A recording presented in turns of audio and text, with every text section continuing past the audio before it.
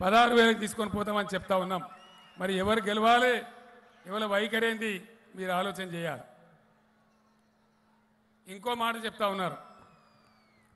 ఆ రాహుల్ గాంధీ కూడా చెప్తా ఉన్నాడు.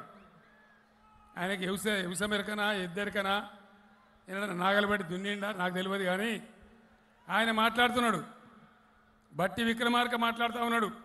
సిఎల్పి లీడర్ పిసిసి అధ్యక్షుడు మాట్లాడుతూ ఉన్నాడు. కాంగ్రెస్ గవర్నమెంట్ వస్తే ధరని ధరని తీసి బంగాళాఖాతంలో ఇస్తామని మాట్లాడుతూ ఉన్నారు. ఒక విషయం మీరు ఆలోచన చేయాలి. ధరని ఎవరి కోసం తెచ్చినాం? కేవలం రైతుల కోసం. ప్రభుత్వం తనకున్న అధికారాన్ని వదులుకొని రైతుల యొక్క భూముల మీద రైతులకే అధికారం ఇచ్చింది. మీ బొటన వేలు పెడితే తప్ప ఇలా మీ భూమి మారదు.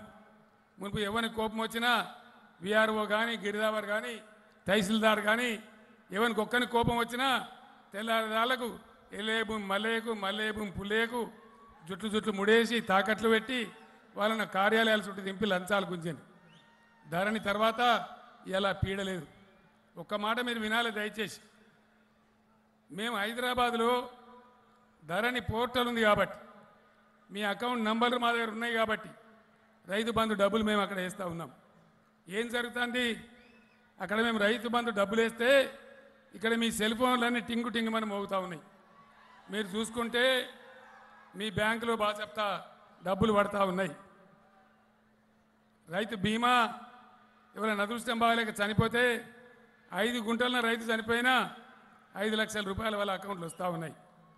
అట్లనే మీ ధాన్యం కొంటే ధాన్యం కొన్న డబ్బులు కూడా అక్కడ గవర్నమెంట్లో అకౌంట్ ఉంది కాబట్టి మీ అకౌంట్లో వచ్చి బ్యాంకులో పడతా ఉన్నాయి.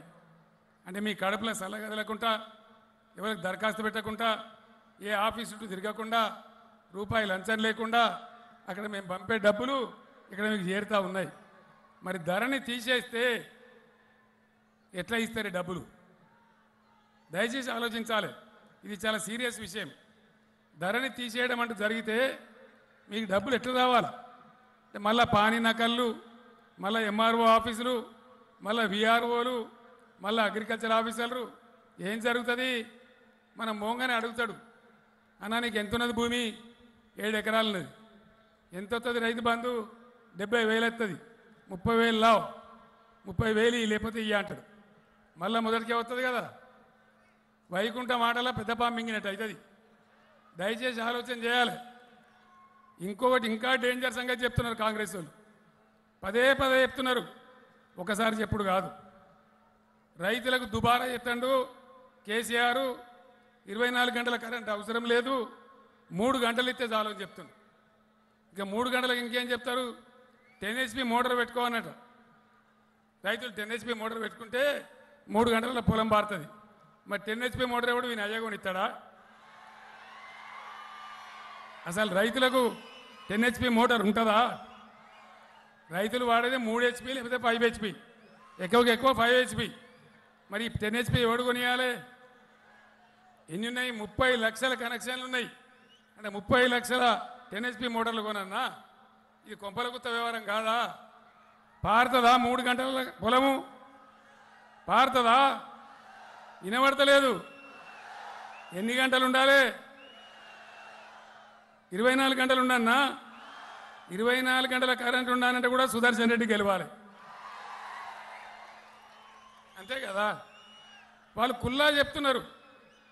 కాంగ్రెస్ పార్టీ ఒకసారి కాదు రెండు సార్లు కాదు మూడు సార్లు కుల్లా కుల్లా చెప్తున్నారు. మేము వస్తే ఇచ్చేది మూడు గంటలే. ఇప్పుడు ఫైసలా మీ చేతిలో ఉన్నదిగా కర్ణాటకలో ఆయన వచ్చింది చాలా పెద్ద మనిషి. ఆయన పేరు శివకుమార్ ఉప ముఖ్యమంత్రి అట. ఆయన వచ్చి నాకు ఛాలెంజ్ కొడుతున్నాడు. కేసీఆర్ నీకు తెలుసా మా సంగతి? మా దగ్గర వ్యవసాయానికి ఐదు గంటలు కరెంట్ ఇస్తున్నాం నేను చెప్పిన సన్నాసి మా దగ్గర ఇరవై నాలుగు గంటలు ఇస్తున్నారా నేను చెప్పాను. అంటే ఏమన్నట్టుది వాళ్ళు కుల్లా చెప్తున్నారు మేము ఏం చేస్తామనేది నిన్నగాక మన కర్ణాటకలో గెలిచినారు వాళ్ళ కొంప ఉంచుకున్నారు ఆడ పన్నెండు గంటలు వచ్చేది ఐదు గంటలు చేసిండ్రు. నేను ఒక్కటే మాట్లాడుతూ ఉన్నా.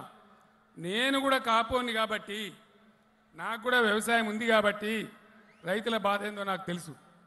ఎట్లా ఇయ్యానో కరెంటు నాకు తెలుసు. ఇంతకుముందు ట్రాన్స్ఫారం కాలితే ఏం బాధ? మోటార్లు కాలితే ఏం బాధ? మోటార్ కాలకుంటే రైతుకన్నా పంట పండుతుండేనా? ఎంత అవస్థ అవుతుండే ఎన్ని రకాల ఏనాడు కూడా వాళ్ళు రైతుల గురించి ఆలోచన చేయలే. ఇప్పుడు ఎవరన్నా చేస్తూ ఉంటే అది మంచిది కాదని విమర్శించి తీసేస్తామని చెప్తా ఉన్నారు. అందుకే నేను మీతో మనవి చేసేది ఒకటే. దయచేసి ఆశామాసిగా ఓటు వేయద్దు అలవోకగా వేయద్దు ఖచ్చితంగా ఆలోచించి నిర్ణయం తీసుకొని ఓటు వేయాలి ఈ విధంగా ఏ కార్యక్రమం కూడా వాళ్ళు మంచినీళ్ళు ఇయ్యలే కృష్ణా గోదావరి నదులున్నా ఇయ్య శాత కాలే ఎందుకు శాత కాలే? కేసీఆర్ కన్నా దొడ్డున్నోళ్ళు ఎత్తున్నోళ్ళు ముఖ్యమంత్రులు కాలేదా? ఇదే కాంగ్రెస్ పరిపాలన చేయలేదా? యాభై ఏళ్ళు ఎందుకు ఇయ్యలే? చేనేత కార్మికులు ఎందుకు ఆదుకోలే? రైతులకు ఎందుకు సపోర్ట్ చేయలే? దయచేసి ఆలోచన చేయాలి. అందుకే నేను మిమ్మల్ని కోరేది ఏ పార్టీ యొక్క వైఖరి ఏంది ఏ పార్టీ నడక ఏంది ఎవరు ఎవరి గురించి ఏం ఆలోచిస్తారు అది ఆలోచించి మీ ఓటేయాలి వట్టిగా వాళ్ళకు ఐదేళ్ళకు ఒకసారి వచ్చి ఇన్ని సీసాలు తెచ్చి ఇక దాపిటే కదా రెండు సీసాలు తాగు ఓటు గుద్దు. వాళ్ళక ఓట్లేసేది. ఎవరు ఉండాలి? సుదర్శన్ రెడ్డి హైదరాబాద్కు రానేరాడు తక్కువ. హైదరాబాద్కు వస్తే కూడా ఆయన కారు అక్కడ ఆగది. మళ్ళీ తెల్లాటలకి నర్సంపేట వచ్చి పడతాడు.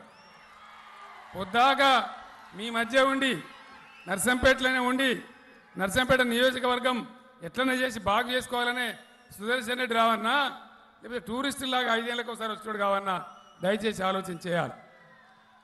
జిల్లాకు మెడికల్ కాలేజీ పెట్టాం ప్రతి జిల్లాకు ఒక మెడికల్ కాలేజీ పెట్టాం సుదర్శన్ రెడ్డి వచ్చి అన్న ప్రైవేట్యో గవర్నమెంట్యో వరంగల్లో ఉన్నాయి. నర్సంపేట కూడా ఇప్పుడు వరంగల్ జిల్లాలో ఉంది కదా. వరంగల్ జిల్లాలో ఉన్న కోటాలో ఉన్న మెడికల్ కాలేజీ నాకు నర్సంపేటలో పెట్టాలని శాంక్షన్ చేసేదాకా పట్టుబట్టి కూర్చున్నాడు. సుదర్శన్ రెడ్డి జాగల వేరే ఎమ్మెల్యే ఉంటే నర్సంపేటకు మెడికల్ కాలేజ్ వచ్చేదా? దయచేసి ఆలోచన చేయాలి. గోదావరి నీళ్ళు వచ్చినా పాకాల రెండు పంటలు పండుతున్నా ఇలా రెండు వందల డెబ్బై చెరువులు నింపుకుంటున్నాం కాకతీయ కాళేశ్వరం నీళ్ళతో. వేరే వాళ్ళు ఉంటే సాధ్యం అవునా? అంతకుముందు నిన్నయ ఈ ప్రాంతం అంతా కూడా కొట్లాటలు అచ్చలు కల్లోలాలు ఈ పదేళ్ళ నుంచి నరసంపేట ప్రశాంతంగా ఉన్నది. మంచిగా ఉన్నది. సుదర్శన్ రెడ్డి నాయకత్వంలో బ్రహ్మాండమైన పనులు జరుగుతున్నాయి. పేద ప్రజల కోసం పనులు జరుగుతూ ఉన్నాయి. కాబట్టి అందరినీ కూడా నేను కోరుతా ఉన్నా. దయచేసి మీరు ఇవాళ ఇంత పెద్ద సభ ఖర్చుడు కాదు. ఇదే పద్ధతిలో ముప్పై తారీఖు నాడు మీరు పోయి ఓటు మీ బూత్లో ఖచ్చితంగా బీఆర్ఎస్ పార్టీకి వెయ్యాలని చెప్పి నేను కోరుతా ఉన్నా. తెలంగాణలో జరుగుతున్న ఈ అభివృద్ధి కొనసాగాలంటే మళ్ళీ పెడదారి పట్టద్దంటే పేదల సంక్షేమం ఆగద్దంటే కాంగ్రెస్ ఉన్ననాడు పెన్షన్ ఎంత ఇచ్చారండి? డెబ్బై రూపాయలు నలభై రూపాయలు రెండు వందల రూపాయలు. మీ అందరికి నేను నాకు టైం తక్కువ ఉంది అయినా ఒక విషయం చెప్తాను. పెన్షన్లు ఎందుకు ఇస్తాం మనం? తమాషా కోసం ఇస్తామా? ఏం కారణం చేత ఇస్తాం? అనుకోకుండా కొంతమందికి ఆపదలు జరుగుతాయి. కొంతమందికి భర్తలు చచ్చిపోవచ్చు. కొంతమందికి ముసలితనం వచ్చి ఆదుకునే వాళ్ళు లేకపోవచ్చు. ఇవాళ మనం మంచిగానే ఉన్నాం. అనుకోకుండా ఒక యాక్సిడెంట్ అయితే ఒక కాల్ చేయి పోవచ్చు. కొంతమంది విధి వంచితులు అవుతారు. ఈ విధి వంచితులను ఆదుకునే బాధ్యత సమాజానికి బాధ్యత వహించే ప్రభుత్వం మీదనే ఉంటుంది. గతంలో రెండు వందలుండే